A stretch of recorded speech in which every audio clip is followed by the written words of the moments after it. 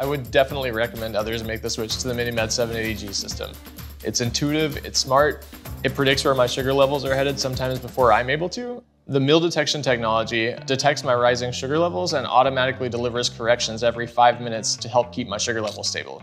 If I'm not 100% accurate with my carb count all the time, that's okay. My MiniMed 780G system is still taking care of me. Since switching to the MiniMed 780G system, I feel at ease and have more confidence. Even my daughter knows the difference. I can keep up with her now. Learn why we made the switch to the MiniMed 780G system.